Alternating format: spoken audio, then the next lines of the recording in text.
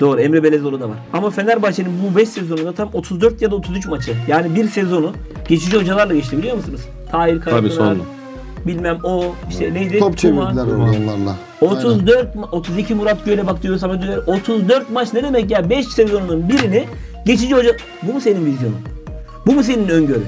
Bu mu koskoca Fenerbahçe kulübünün işte be- benim vizyonumu anlayamadığınız şey? Bak başka bir şey söyleyeyim.